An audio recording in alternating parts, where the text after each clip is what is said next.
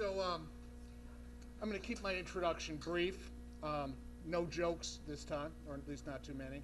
First of all, I'd like to thank you all for coming, um, especially the young people, because you guys represent the future of gaming. Um, I'm going to encourage everyone after this is done to speak to one of the board members, Samantha, Grover, Gunnar, Connor, about how you can become more involved in the IGDA. Um, it's because the efforts of our team that we're able to bring great speakers uh, to this area and to provide you with pizza. That alone merits your support. Um, for those of you who heard my talk on the business of games, you know that the introduction of digital distribution marked a major change in what games are made and how many are made. You can uh, divide the industry into two eras before Steam and after Steam. Um, in many ways, the development of Steam as a store and as a platform gave rise to the modern indie development community. Nightdive Studios is one of the many companies that has been able to achieve success by working with Steam. Tom Giardino has contributed to that by helping us with sales, reports, understanding trends, and listening to our complaints, our very many complaints. Tom has been very patient with us, um, with me in particular. Thank you. With that said, let me turn things over to Tom. Um, Erik is also here, and thank you guys for coming down.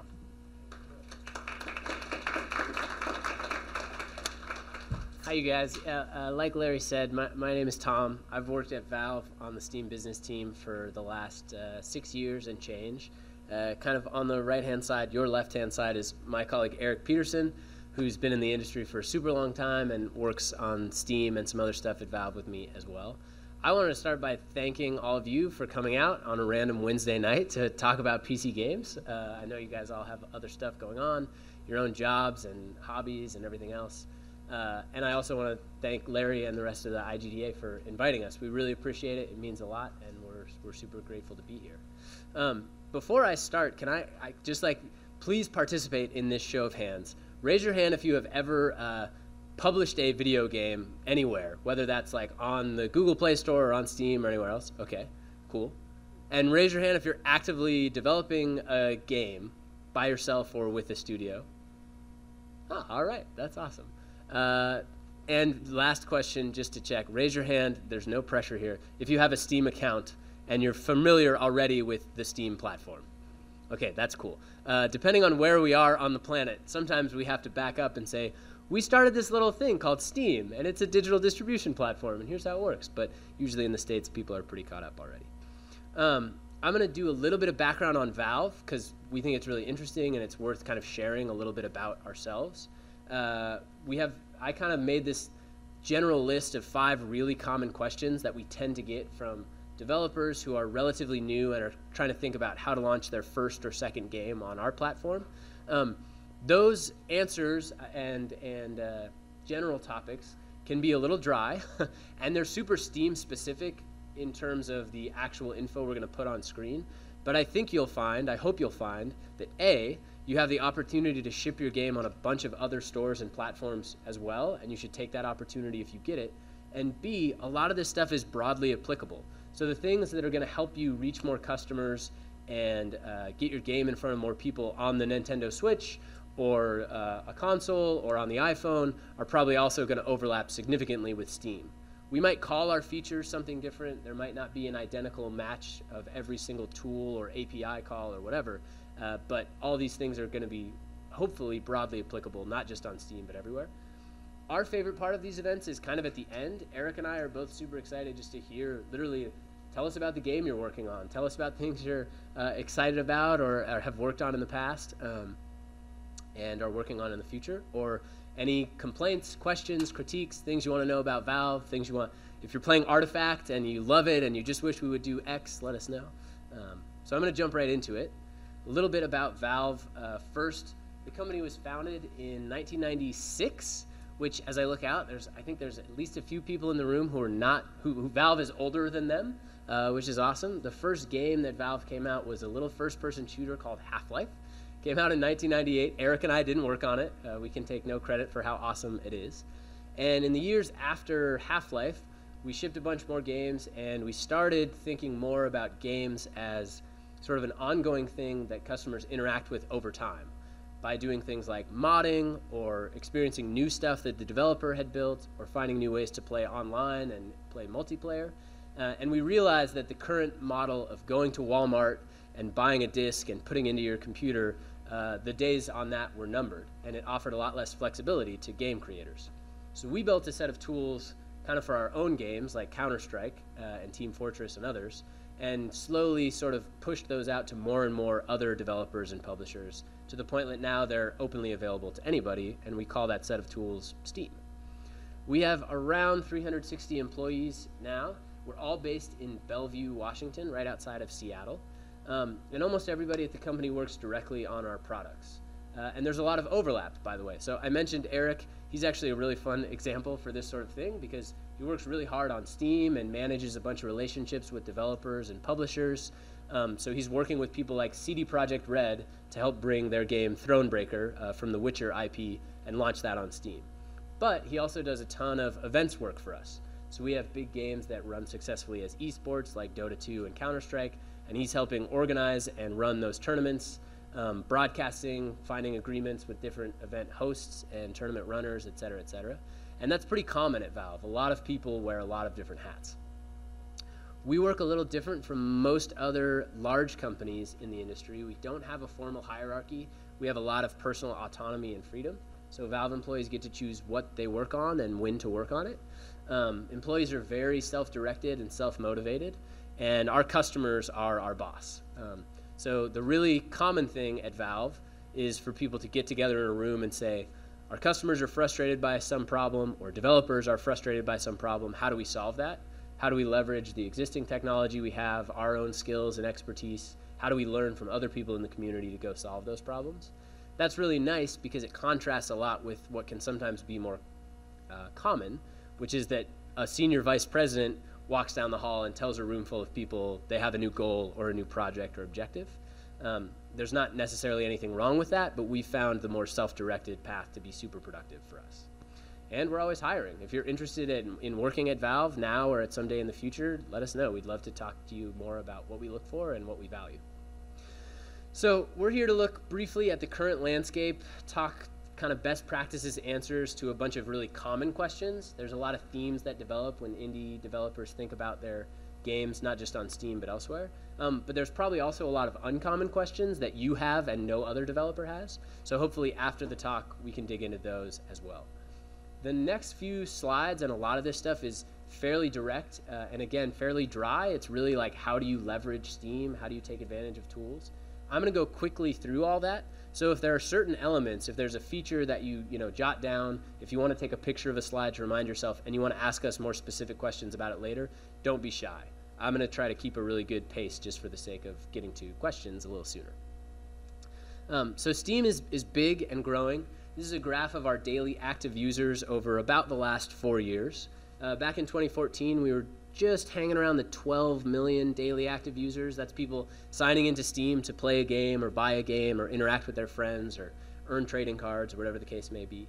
Um, we're closer to 45 million daily active users now in the middle of 2018, towards late 2018. Um, but those four years are a really interesting period for smaller game developers because they're the same four years roughly that a lot has changed. Um, Steam in 2012, 13, 14 looked a little bit like uh, the left side of this image. You had way fewer games being made in the marketplace in general. This was a time where engines and tools were not free or easily accessible. There were way more barriers to entry, there were way fewer places to ship games. Um, and we, on the Steam team at Valve, had way fewer tools to give developers. So developers would submit a small number of games to us we would whittle that down to an even smaller number that we had the time and bandwidth and ability to ship on our store. So if you were one of the small number of customers that saw, you know, Civ 4 come out on Steam and you already knew you wanted it, you were really happy. but if you were an indie developer making a more niche title, or you were a customer coming from maybe a different part of the globe or with a different set of interests, uh, you were a little heartbroken. You might end up being kind of left out in the cold. When you fast forward to today, through a lot of pain and learning and challenges, uh, we're far from perfect, but we figured out a way to take the insane amount of great games coming out every week um, and put them in front of a much more broad and diverse set of customers in a more customized way.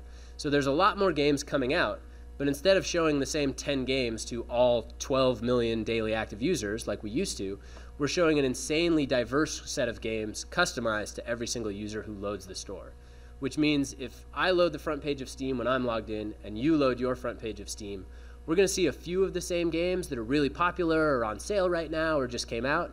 Um, and the other 80, 85% of the content we see is going to be super different based on a lot of factors that I'll talk about later. That's been especially important because we have such a diverse and insanely broad set of content on Steam coming from a lot more developers. Uh, when we worked on the platform in 2013 14 we basically wouldn't even talk about asia as in terms of developer outreach because we didn't have any developers in asia or southeast asia bringing games to the platform.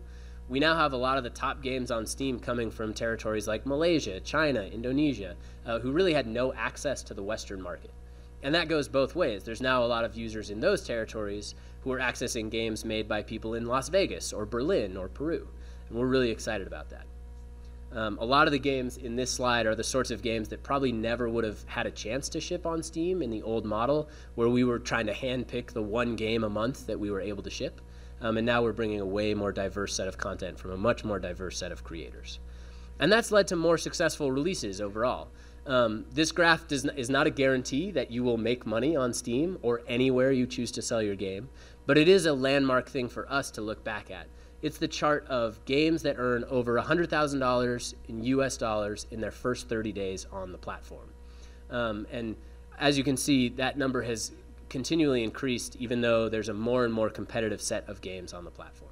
We think that's really good news for game developers and customers, but as a reality check, it doesn't mean that the landscape isn't incredibly compl uh, complicated and competitive. So I'm going to transition a little bit into kind of some of those common questions and what I hope are useful answers to those questions. Uh, again, I'm going to speed through it, so if you see anything that you want to learn more about, just take a picture, make a note, whatever, and we'll talk more uh, later on. The first question that we get really common, especially if you're a first time developer, is when is the right time to announce my game on Steam? When should I start talking about it? Um, and we've built in sort of a, a release flow in Steamworks to help you answer that question. When you first set up your app ID in Steam, that's sort of what we call any individual product, whether it's a software or a game, you're going to have an app landing page in Steamworks. Many of you have already gone through this process yourself. Um, you can work through a, a, really simple checklist of stuff, upload it, submit it for us to review. Um, we check that everything is uh, in, in order and we approve it, and then your page goes live. You will really want to think about this aspect of getting your page live pretty much as soon as you're willing to talk about the game publicly. If your game has a website or a Twitter account, or you're telling your friends about it at an IGDA meeting, you probably should have a coming soon page if that's possible.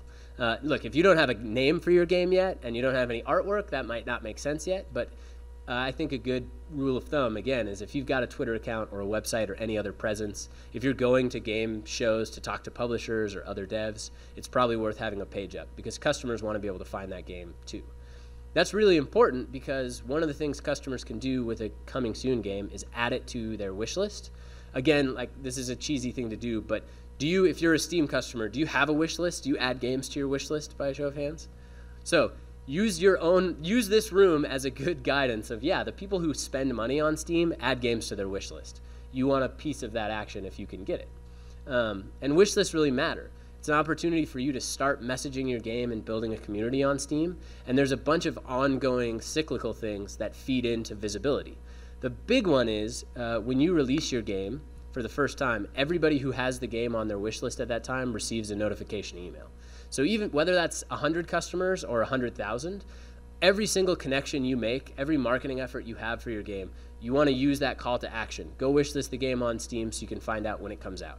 Because if you're like most game developers, you don't have a great answer for when am I going to be ready to ship.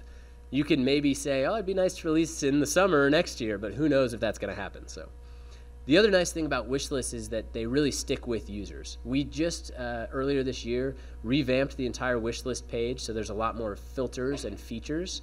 And we deliberately push through wish lists to customers at a bunch of other later times in the life cycle.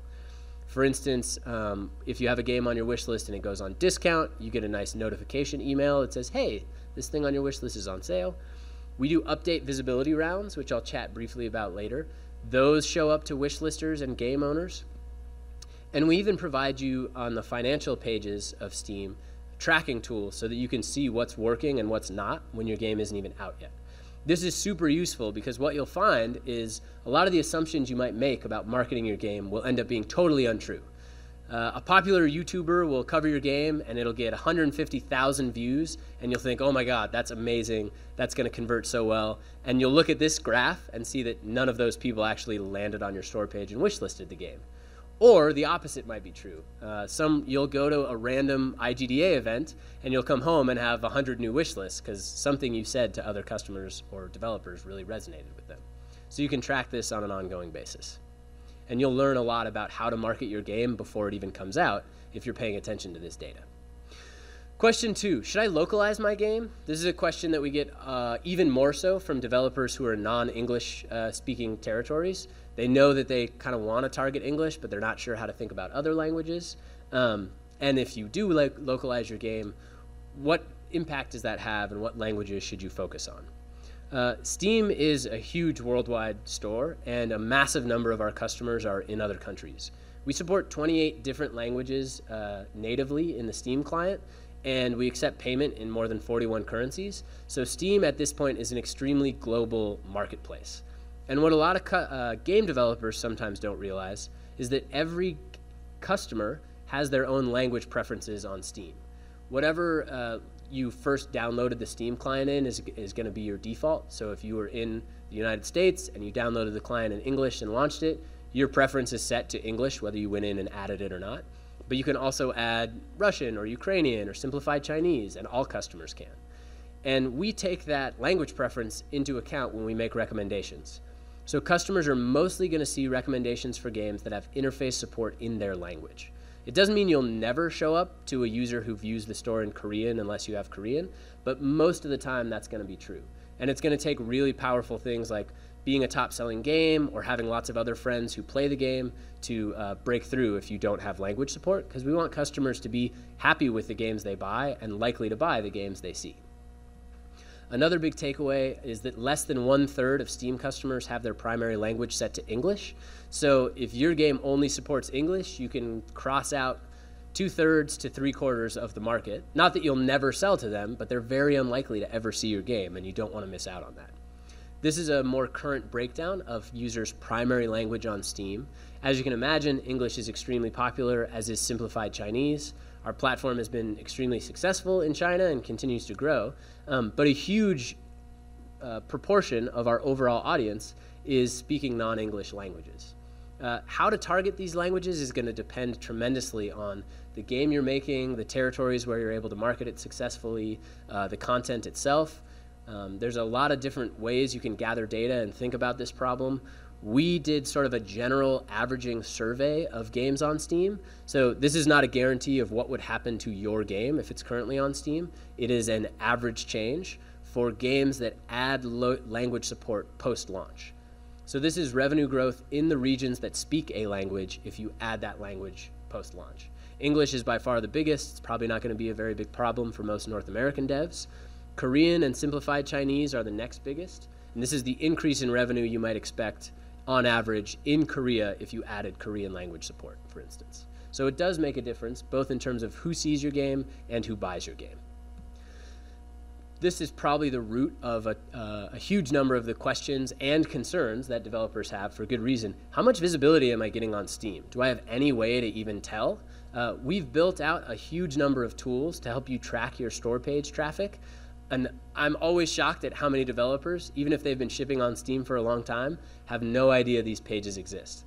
They're really easy to find. Right on your app landing page, you can click marketing and visibility data, and it'll take you to a page full of, you guessed it, marketing and visibility data.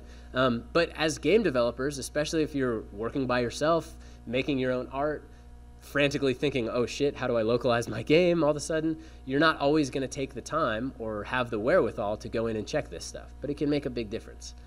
The traffic breakdown pages help you track visits from different locations across the Steam store. Um, and we've added a few brand new features to make it even easier. If you love digging into data, you can now pull down a CSV for any time span you want to run your own analysis.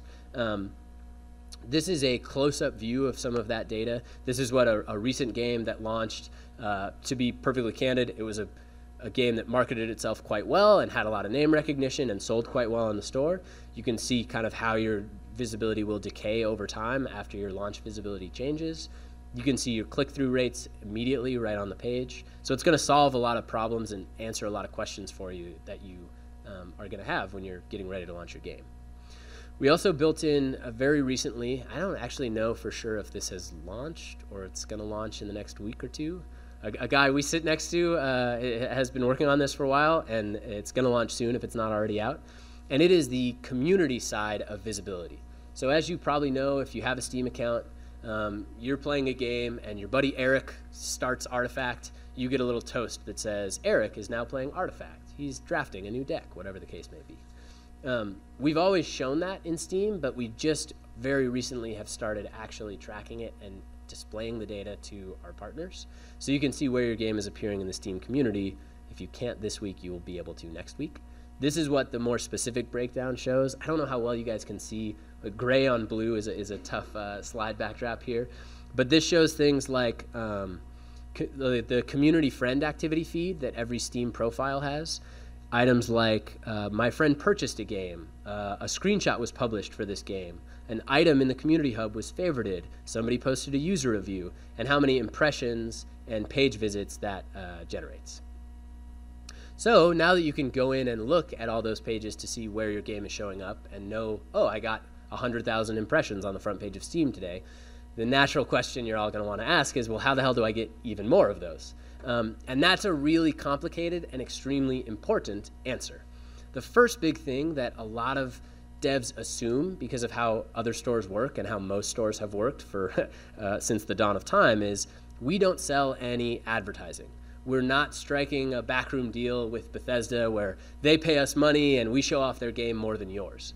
Um, we don't and have never taken ad dollars, and it's not a way that we're interested in monetizing. We're not sure how many developers and customers know that or just assume that we're like all other stores and we're taking ad dollars, but we think it's important to call out. Uh, the store is personalized for every user. So if you, you know, open the Steam store in incognito mode in a browser and then you sign in, you're going to see some overlapping games, but a bunch of different ones that are customized to your account, your friends, your language, what games you've played recently, what games your uh, curators that you follow recommend, and so on. And we'll talk through a bunch of that stuff. One big thing that a lot of developers miss uh, that's easy to miss is that you can add and remove tags from your store page. Tags are like a really granular version of genres, and every tag has its own landing page on Steam. So a customer can go search for RPG games that have a female protagonist uh, that are dark or funny or whatever, and you can filter by all those tags you as a developer have total control. So you can go in and add relevant tags for you. And if your customers tag your game with something you don't think is true, you can remove that tag. So you have total control over that. And that can help you show up on a bunch more uh, granular pages on Steam. We also have a feature called Steam Curators. One more uh, by a show of hands, just out of curiosity. How many of you follow a Steam curator on Steam? Okay, so like I would say almost all of you said you had Steam accounts, and more like a third of you actually follow curators, which is pretty close, I think, to our platform numbers. They're really helpful if you follow them. They don't generate too much value for you if you don't. Um, these are human, non Valve entities or individuals that recommend games to you, um, as you would expect. As a developer, you have a tool called Curator Connect. And that's how you find curators that might be relevant to you. You can filter them by genre, you can filter them by language. If you're making a VR game, you can easily find VR curators and so on. This helps you send your a copy of your game for free, not a resellable Steam key, but a copy granted directly through the Steam client to a curator or a group which can play your game and, and recommend it to their followers if they want. And that plays through to the store in a bunch of interesting places.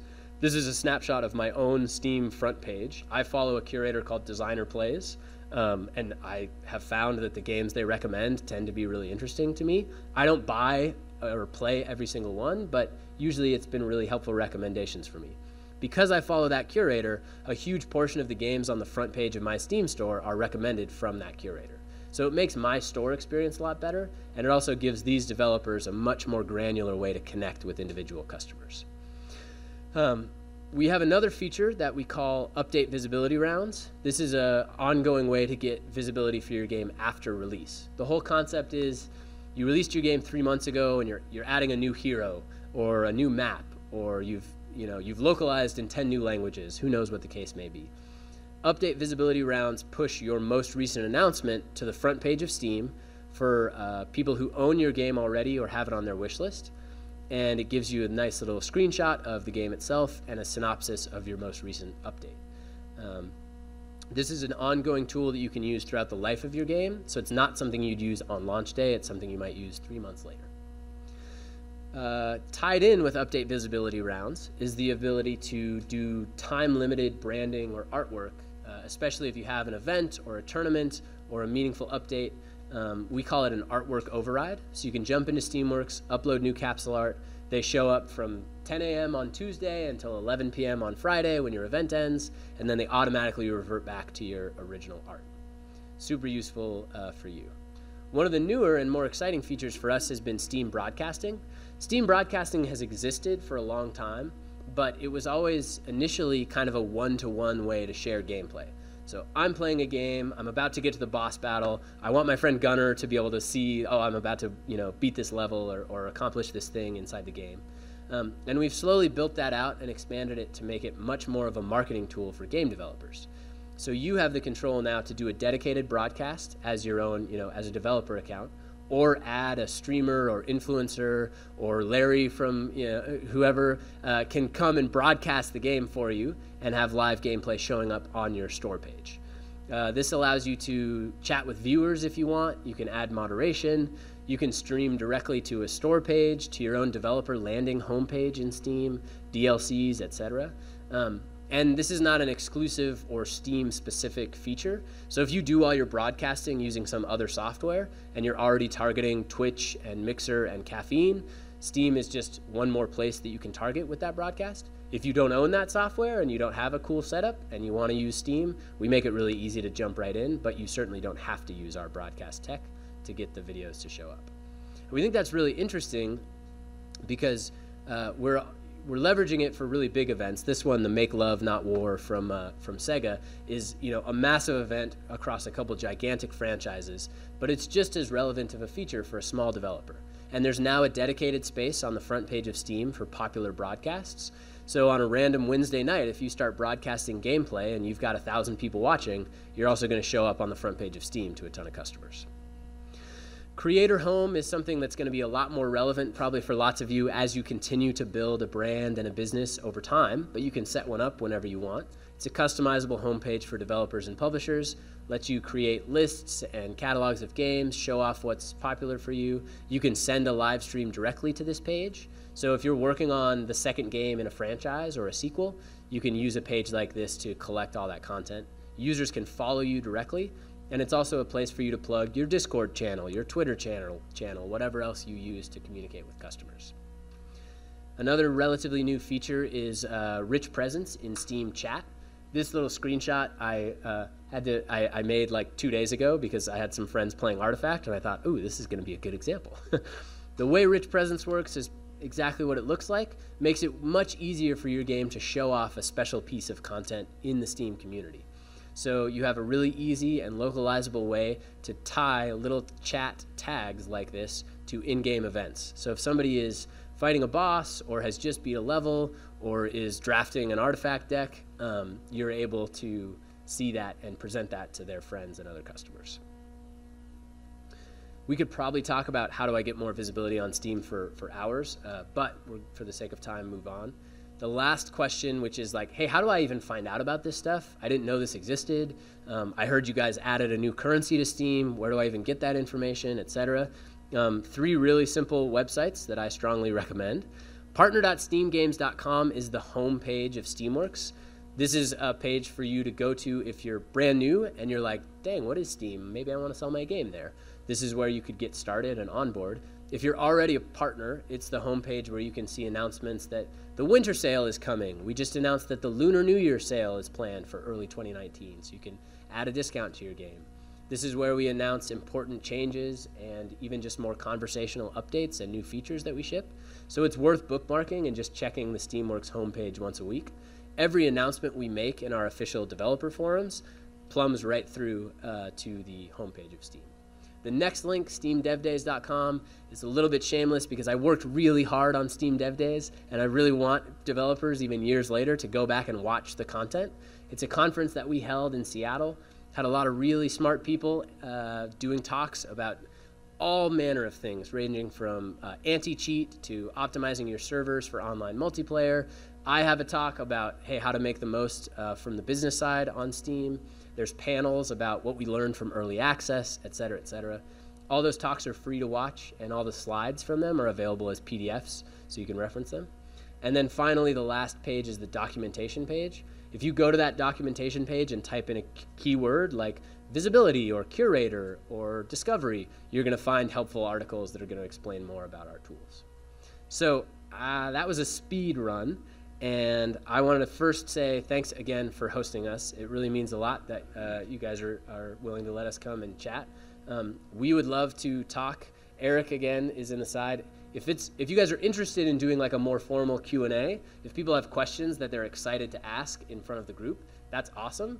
If you're like, yeah, I want to ask a question, but I don't want everyone else to stare at me when I do, uh, that's fine. We'll go grab a piece of pizza and a soda and everything else.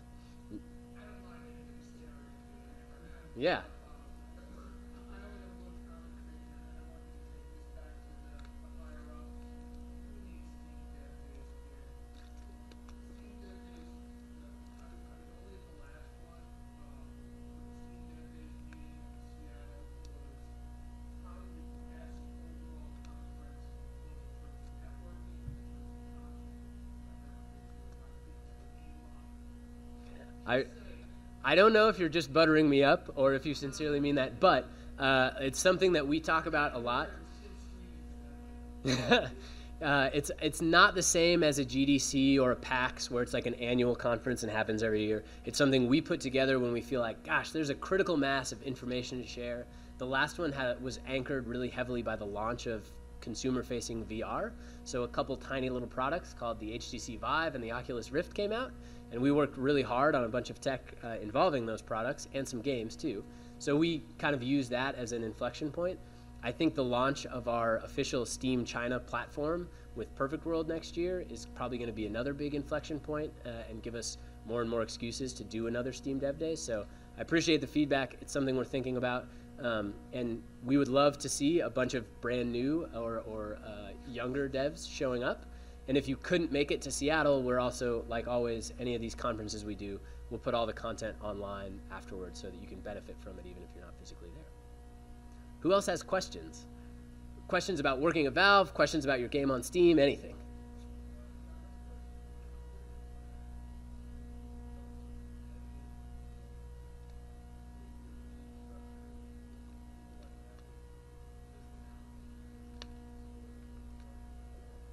Yeah. Yeah, absolutely.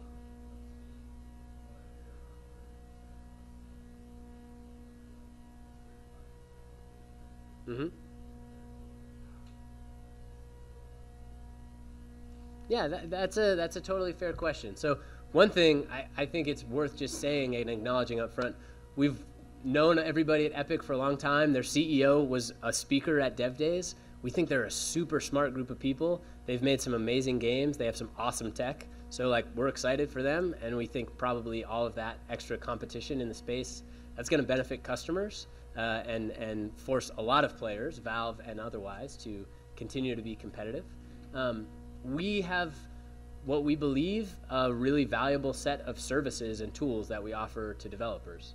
And so uh, there's a lot of things that roll into a revenue share that most developers are probably not going to think about. Um, one interesting example for us that that is doesn't encapsulate this whole topic, but is worth thinking about is something like uh, wallet cards at retail. So if you go into a Walmart and you see a Steam gift card on the shelf, um, those aren't free.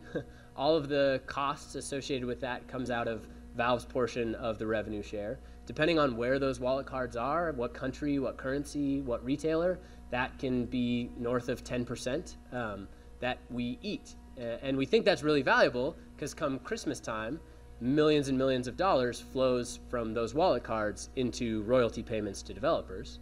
So we're super happy to take on those costs, but we also think that probably a lot of those features and value disappear at a much smaller revenue share. So our big goal is making sure that we're clearly communicating all the value that we think we provide um, and offering a huge amount of services and tools and features. Um, we did announce a few broad strokes changes to the revenue share tiers um, that w- I would love to talk about more if, if anybody's curious about those choices because it's really interesting stuff for us to work through. Um, the other big way we want to continue to compete is by looking at what the future is for PC gaming and continuing to invest in it. Um, we look at a lot of games and tools and features like things that are fairly common now and almost taken for granted, stuff like the Steam Workshop for mods. Um, it just didn't exist, and it was a really valuable thing to help Valve specific games uh, make modding as a, an experience better for customers and better for partners. Uh, and so we did a bunch of work to make that a generalized feature that now any customer and any partner on Steam can take advantage of. Um, we think there's a lot of other platforms out there who don't offer those sorts of services and probably won't for a long time, which is an interesting trade off. That said, I said this at the beginning of the talk. If you guys are working on a game and your goal is reach a bunch of customers who will play the game, um, or your goal is make enough money to invest and buy the next game, uh, we don't think Steam is the only place you should sell your game and we work hard on tr- trying to find interesting ways to make our own content available in other places. Um, I would strongly encourage any of you, if you're working on a game, whether you sell that game via free Steam keys from our platform, we cover all the bandwidth and royalties and fees, and we don't pass any of that cost on to developers. So you can sell your game at an infinite number of stores for free thanks to Steam keys. There's also a bunch of other great stores in the PC space. If it was me, I would think really hard about trying to get my game onto the Switch, onto consoles. If it's a good fit, I would think about shipping my game on the mobile stores as well. Um, those rev shares and deals are going to vary dramatically from store to store. Some stores are, and platforms are probably going to offer more value than others. But my advice would be think really hard about making your game as accessible as you as you can. It's a really long-winded answer, but yeah. What's a deal wish list target for your day one launch? Early access. Yeah, I know it ah. all depends on the game. No, it's yeah, it's a really good question. I mean, one, one of the, uh, the the question is like, how, how many wish lists do I need to be successful? The the follow back immediate to that question is like, what does success look like? Because I think if you're a studio of 30 people and you need to make 10 million dollars in royalties this year to keep the lights on and you know make payroll, your the answer to that question has to be super different. I think a more interesting thing. Uh, not necessarily more interesting, but another way of approaching that question is twofold. Uh, the first one is okay, how many, like, what's a realistic forecast of units to sell? Um, what's a normal wish list conversion rate? Talk to other devs who have already shipped products and say, hey, do you do your wish list convert at 1%, 5%, 10%? That's actually a, a change that we just made a few days ago was to remove confidentiality from all the sales data that you have on Steam. So if you want to make a blog post about your wish list conversion rates or your sales over the last five years, whatever you can, I would definitely find that data out and say, okay, if I need to sell 5,000 units this year and I have 1,000 wish lists, like I'm in trouble, I'm nowhere near. Whereas if you're like, I'm hoping to sell 25 units of my game at launch and you've got a 1,000 wish lists, you're in a great spot. Um, I think a lot of the games that are probably going to end up on like the popular new releases or top sellers queue, it's you know in more of like the mid five digit range, so somewhere between north of 10,000. But that's not a benchmark that we're looking at as like, oh, you have less than X wish lists, like you're not recommended to anybody, or oh, you have more than Y wish lists, you're recommended to everyone. Uh, we're not really big on thresholds. They're also really easy to manipulate. Um, so we deliberately try to avoid telling developers you must have this number of sales or wish lists to be successful. Um, but it would also be really interesting to look at your game right now. Um, one of the fun things when you have a coming soon page, I showed this slide earlier, is you can actually see the wish list behavior over time. So if you take your game and you spend a bunch of time and money to go to PAX in Austin and you show your game to a ton of people and you come home and you check the wish list data and it hasn't changed, I think that's the thing to make you scratch your head and say, what, what's going wrong here? Is, is the name of my game hard to spell? Can customers not find it? Or like, you know, did I, did I turn people off with a really difficult tutorial so everybody who tried my game decided they weren't interested in it? Like, I talked to 10,000 people, not one of them wishlisted my game? Like, what happened? Um, or similarly, yeah, uh, you wake up one morning and see 10,000 new wish lists and you didn't do anything. Like, what random streamer in, uh, you know, in Russia was talking about my game last week? Like, how the hell did this happen? And, and where are these customers coming from? And how do I make one of those bumps happen again next week?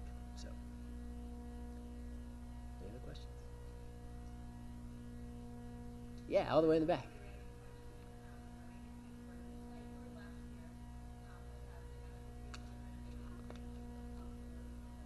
Yeah, yeah, it was a little crazy. We're we're way more settled in now.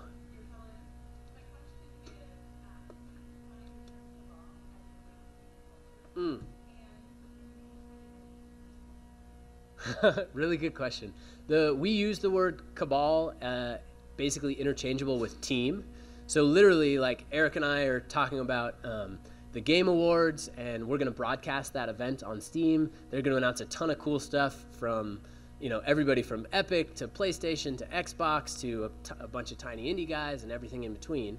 So uh, there's people who are sitting in a different cabal from where Erik and I sit down on the 12th floor, and we'd literally say like, "Oh, do you guys want to go down to the other biz cabal on the 12th floor and talk to Sean about that broadcast?" So it's like it could literally just mean room or team. Um, if you have a question about the artifacts launch, you go to the artifact cabal and talk to the people there. Um, as far as personal training goes, we, we have this really generous benefit where there's an opportunity to have uh, personal training and physical fitness. We really try to take super good care of employees and make sure that they're healthy and happy, that their spouses and children are healthy and happy. I am super lazy and don't take advantage of it at all. so, sorry. yeah.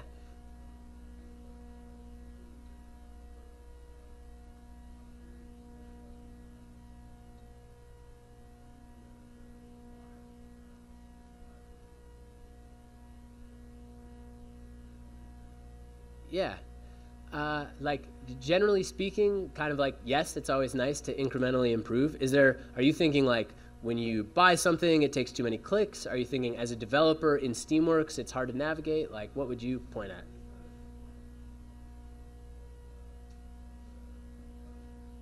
Mm. Yeah.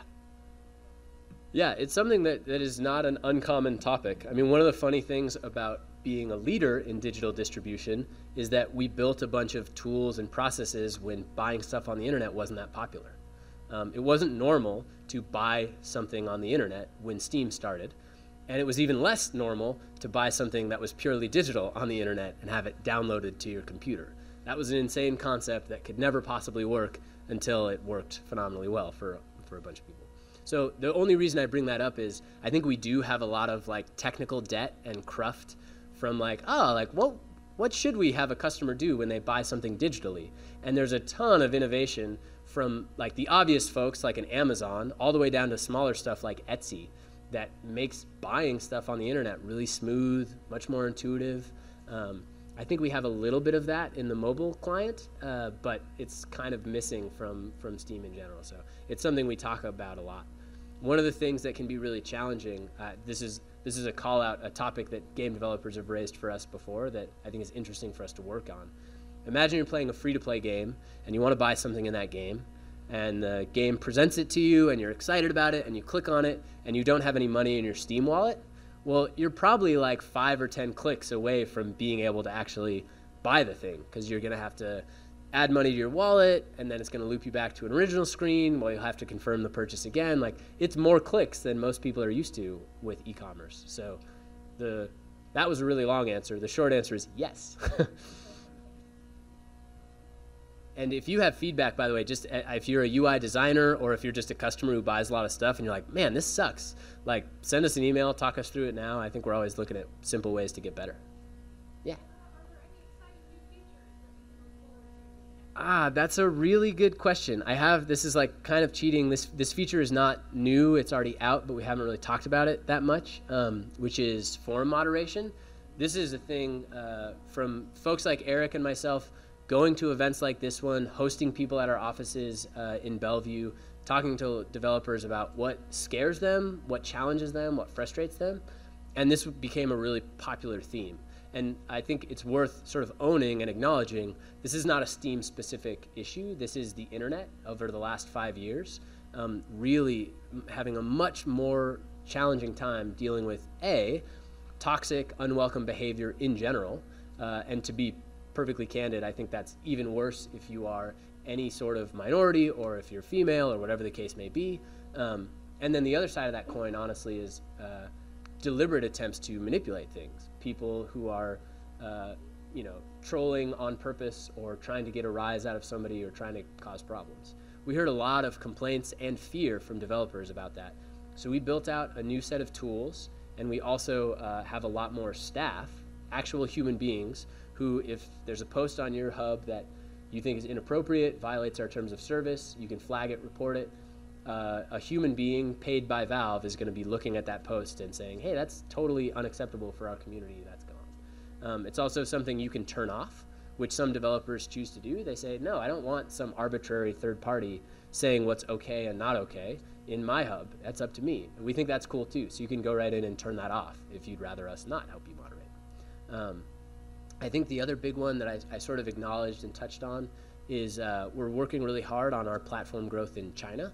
So uh, Valve has a really long history and long strategy of growing our business in China. We've launched our own games over the past few years officially in mainland China, um, both Dota 2 and Counter Strike, um, with a partner called Perfect World. Uh, those launches helped us learn a lot of really hard, challenging lessons and sort of insulate our partners from a lot of pain. And then it helped us figure out okay, when it's time, we can launch Steam officially in China with this partner and benefit from a lot of our learnings, a lot of the infrastructure gains. Um, people like Erik are working really hard because we recently announced that our Dota 2 International, which is our big uh, kind of the, the keystone tournament for uh, our game Dota 2, that big tournament is going to be in Shanghai this year, which we're super excited about and is a big step for our platform. Um, so that's still a. Re- there's not a lot of ton of specific details I can share, but it's I think a really big step for us as a platform to have an official onshore partnership uh, for the business to keep growing in, in that territory. Erik, anything else really cool that we're working on that I'm? Oh yeah, there's a. I, I probably have a slide in here somewhere, but I, I, I won't bother clicking through it.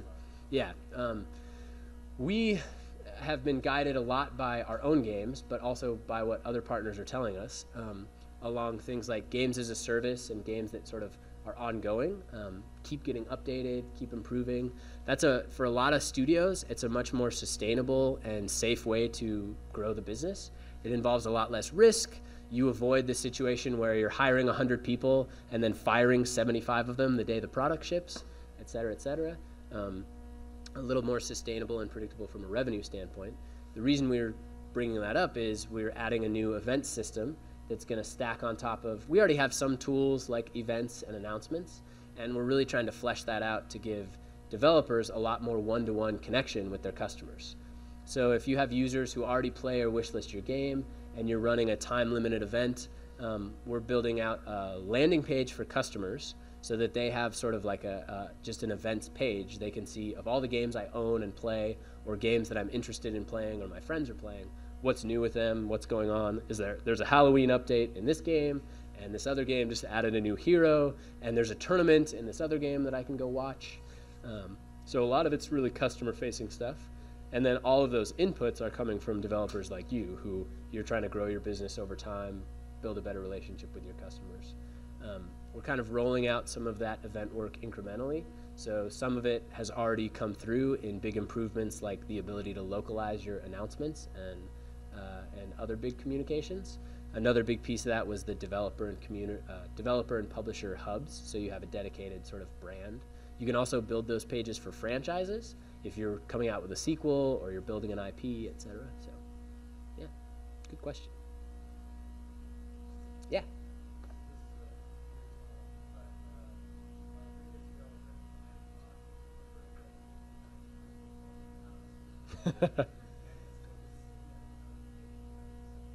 ah.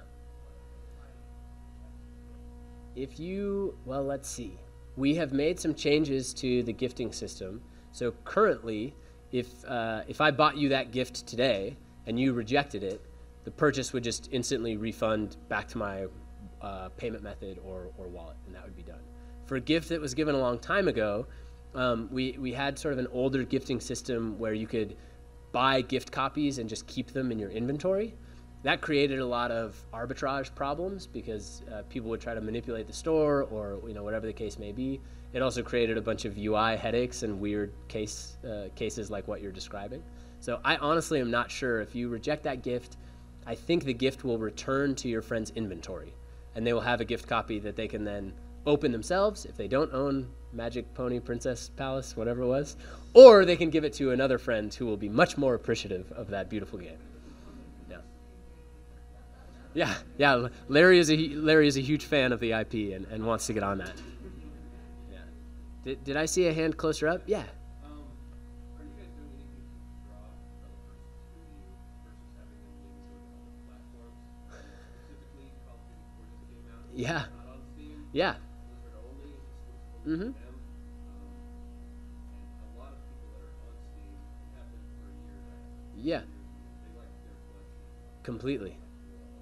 Yeah, it is. It is a major priority and something super interesting for us. Um, pursuant a little bit to the conversation about RevShare, we recently rolled out um, a global change to RevShare terms that's accept, uh, accessible to all partners. So one of the things that sometimes gets lost in these conversations is, for pretty much all stores and platforms, uh, in most cases except Steam, folks are kind of cutting one-off deals. So like the, the deal that a really big game gets to ship on Switch might look a little different than the deal your game might get on Switch because that game has more leverage and more awareness and brings more value to the platform or whatever the case may be.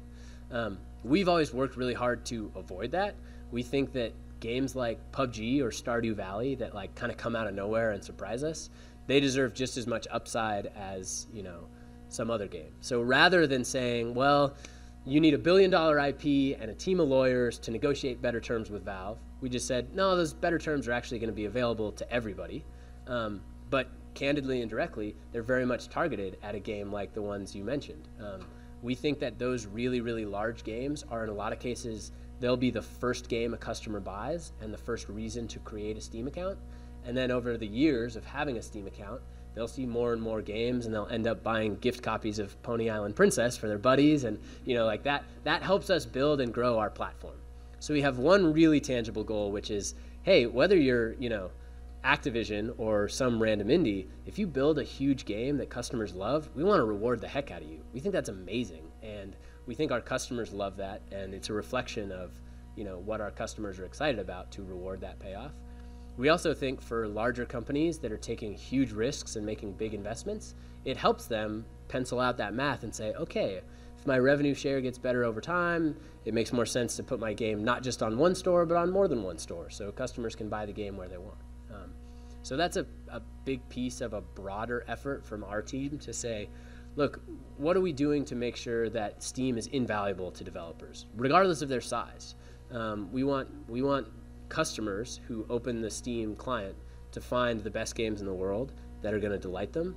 We're actually not that picky about whether that game came from uh, a, a college student in Las Vegas or Bethesda. We, we think both of those games have equal value and have deserve equal shot at showing up to the right customer. Um, so that's the big play. It's tied in with a lot of other longer conversations and effort on our part to just make sure Steam is, is friendly and supporting developers. The other big one, to be perfectly honest, is all of that global expansion work. Um, processing payments in foreign countries is crazy hard. Getting your store priced in 40 different currencies is crazy hard. And almost no, no other store on PC that I know of gets anywhere close to it. Even the really successful ones like a BattleNet, like they don't even come close to reaching customers in a lot of those other territories. And they're not open to smaller developers anyway. So we think that's probably going to be a, a, huge answer is when we gain revenue over time, investing it back into the platform, making it an even bigger opportunity, and also opening our doors to the developers that are in those other territories. Because there's a lot of game devs in Malaysia or Kenya who have a ton of value to add, a ton of creativity to bring, and they're going to delight customers all over the world if we give them the chance to do that. I think you had a question, right? Yeah. Ah, I was like, I was like looking. I was like, this is weird. This is the longest we've gone without. Uh, no, no comment. Nothing in- interesting for us to share about any new games. We did release a game recently. It's called Artifact. It's a card game. Um, if you played Magic: The Gathering, uh, one of the lead designers of that game, named Richard Garfield, uh, has worked with us for quite some time on this game. It's in the Dota 2 IP, uh, but it's pretty different from Dota. It's kind of like a deck building and drafting game. It's amazing. Uh, I'm a little biased because I sit one floor down from the people who built it, but I think it's a really good game. Um, we were pretty quiet, I think, about launching it. We didn't bang a bunch of drums or, or, or show it off in a super aggressive way, and we don't buy advertising ourselves, so you're not going to see it like on a high rise in LA during E3. Um, but it's off to a really good start, and we're really excited to see where it goes.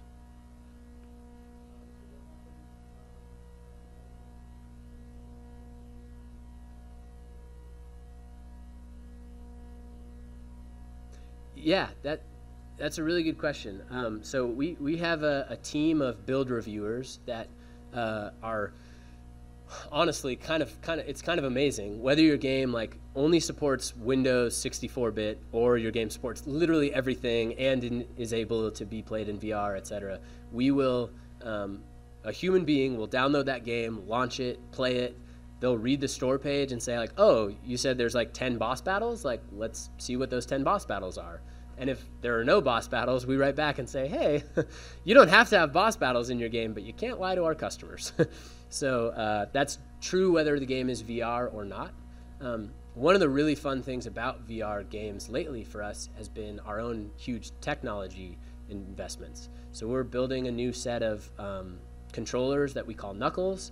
We sent out I don't know, 300, maybe maybe 400 sets of Knuckles to developers based on those experiences, where we would try a VR game and say, "Wow, this would be really cool with some of the tracking and finger presence that our hardware brings to the table." Uh, it's actually a really, I think you can probably look it up and see videos now. I think most of the uh, dev kits are not covered under NDA.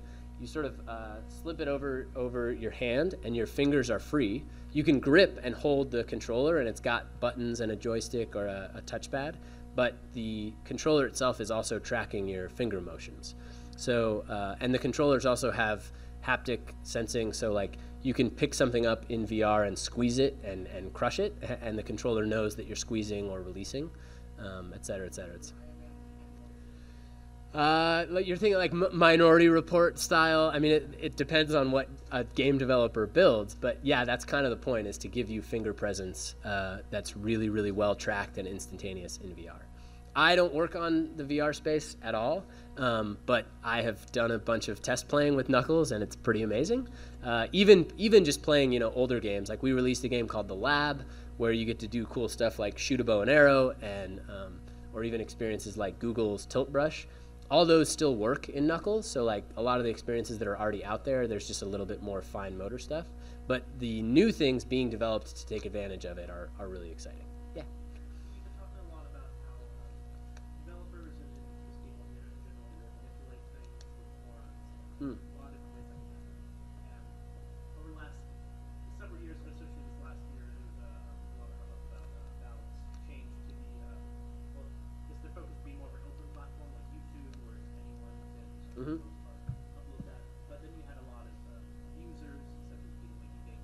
Take to make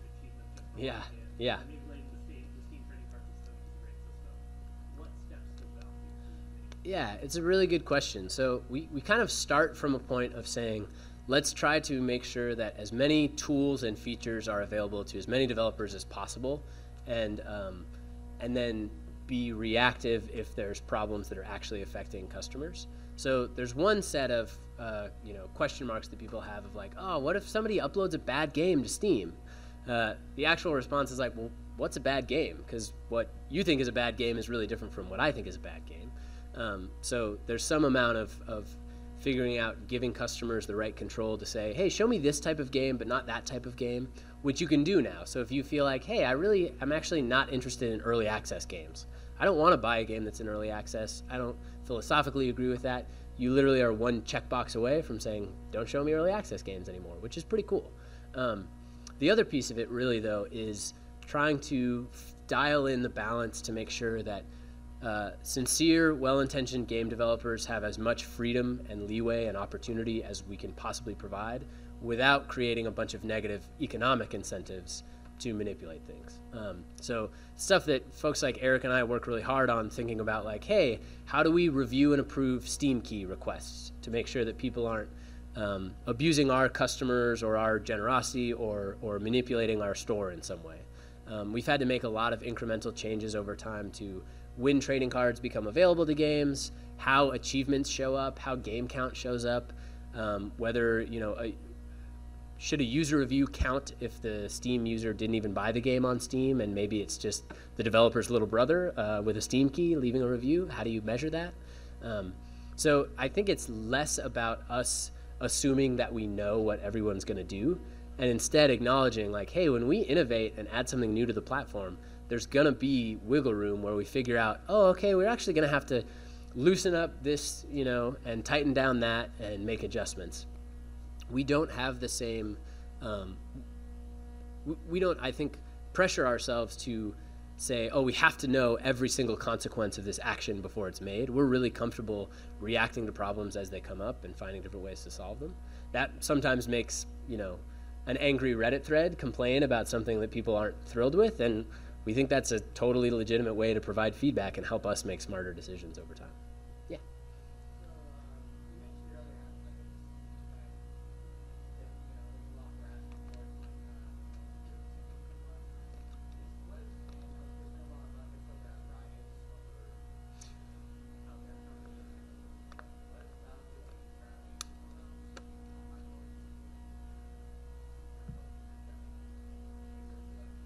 Yeah, that's a really good question. I mean, uh, so one of the one of the I think really fundamentally important things for a company like ours is uh, treating employees fairly based on you know the merits of what they bring to the table and and frankly being open-minded. we have a small enough company that you, you can't afford to have a team or a department that has a toxic culture because if one team has a toxic culture, the whole, whole company does. Um, so we have a, a, lot of benefits and insulation against those problems that much larger organizations are going to struggle with because they're so much more isolated and fragmented. Um, we have uh, a, small number of internal efforts and, and energies to make sure that we're, frankly, paying attention. Um, it's really hard to talk about that stuff more more broadly we think about it a lot in terms of like, hey, what is the broader landscape of the Steam platform and our industry at large? How are we making sure that everyone has a seat at the table? When we do events like Dev Days, uh, are we making sure that a really broad audience of people is welcomed and encouraged to show up and their contributions are valued? Um, but it's it's easier said than done. It takes a huge amount of work and constantly reflecting on that work to actually make an impact over over the long term. It's hard work.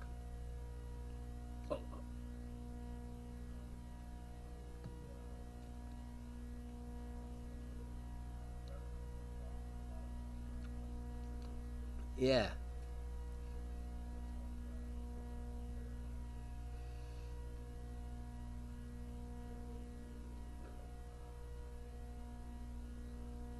Yeah. Yeah. Yeah, it's it's um it's something that we we sort of have to dance around a little bit publicly because we don't want to sh- share every detail of how we're looking at these things, but one thing that I'll say is it's not uncommon for a group of people at Valve to be looking really hard at a game and a set of reviews and making decisions about banning a developer from the platform for manipulating things or banning a set of accounts that are astroturfing. Um, it's not something we share a lot of strategy on publicly because it's kind of that constant like Cold War give and take thing. Um, but it's something that we take really seriously. We have made a few changes. Um, one of the really big ones is just providing customers with more granularity. So when you look at the user reviews for a product, you have a ton of options to filter by like, hey, when did people buy the game? Like, show me the people who bought the game during launch week, not the people who piled on after this recent update or something.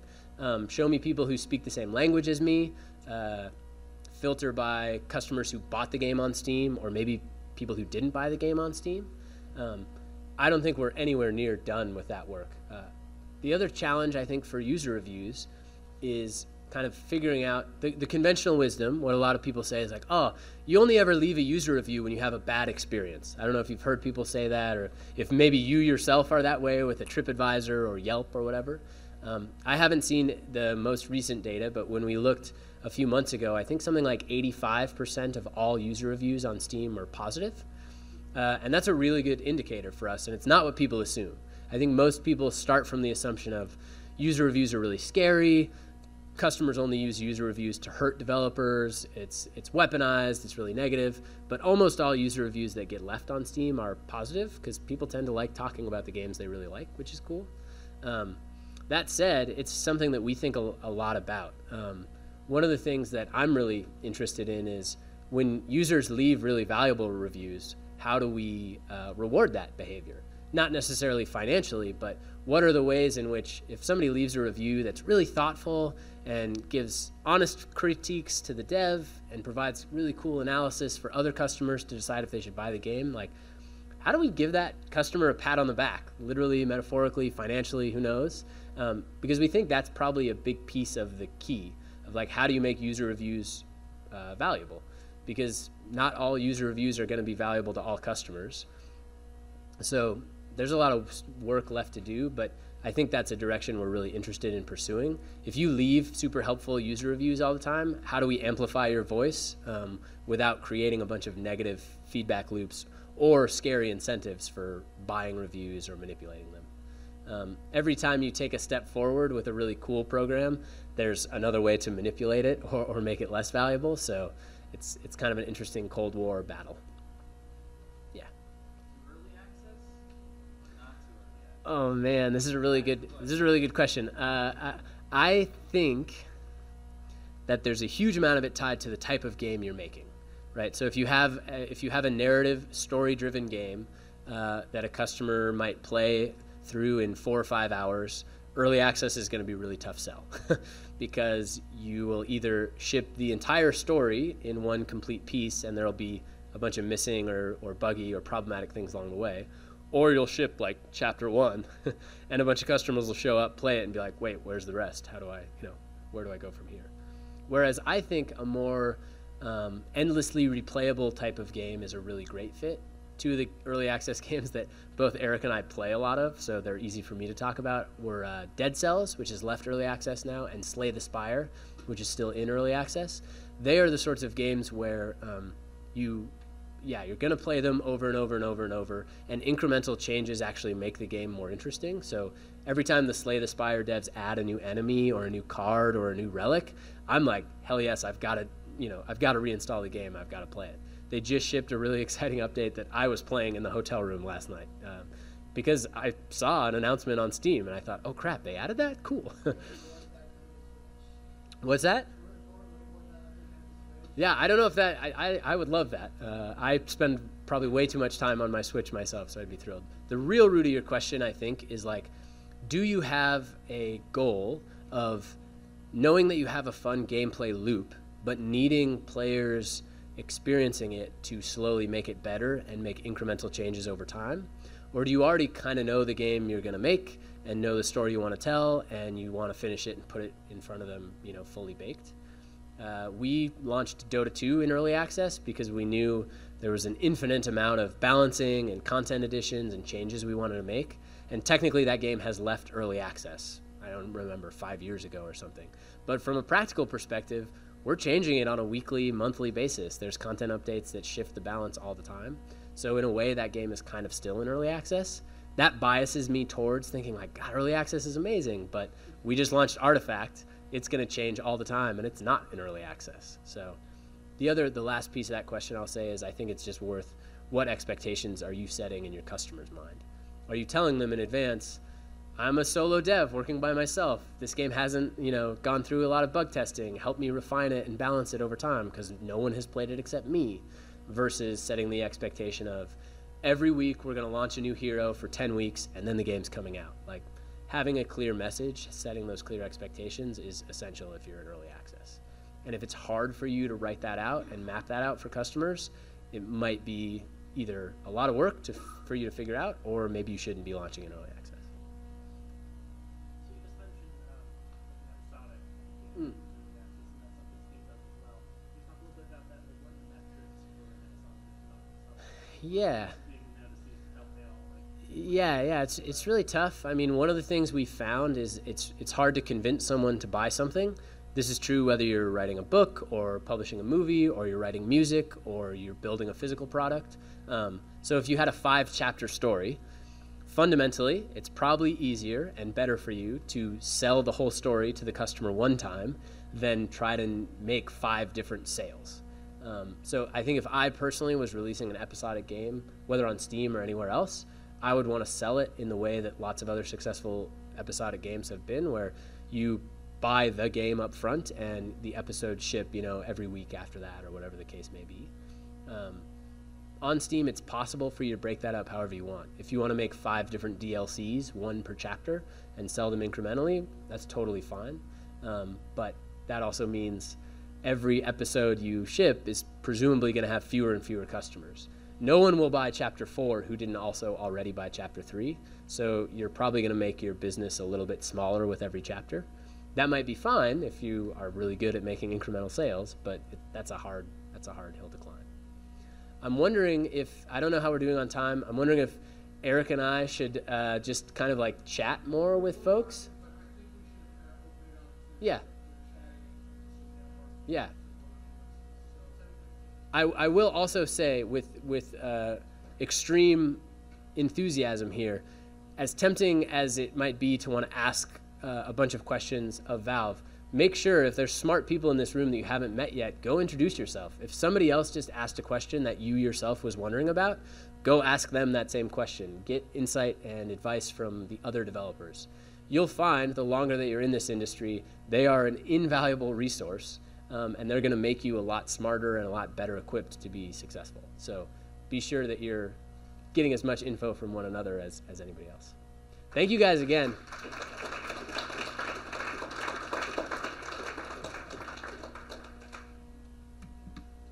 You can find me back by the pizza.